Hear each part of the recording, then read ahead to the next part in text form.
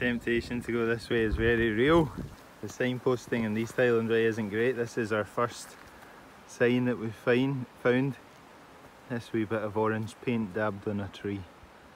But uh, there we go, down that way.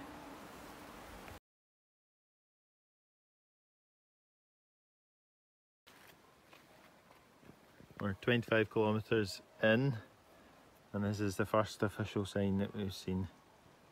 There you go.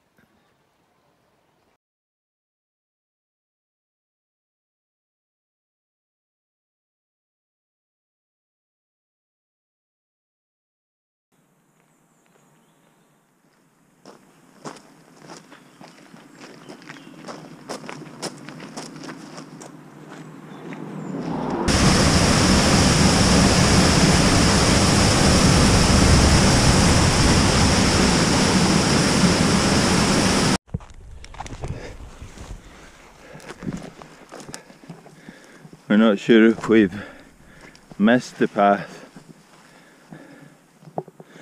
or if there is no path. There's no path certainly marked on the map. So we're just wading our way through the forest here. We're back on some sort of path, so it looks like the tree bashing was needless. But we're pleased to be back on this one.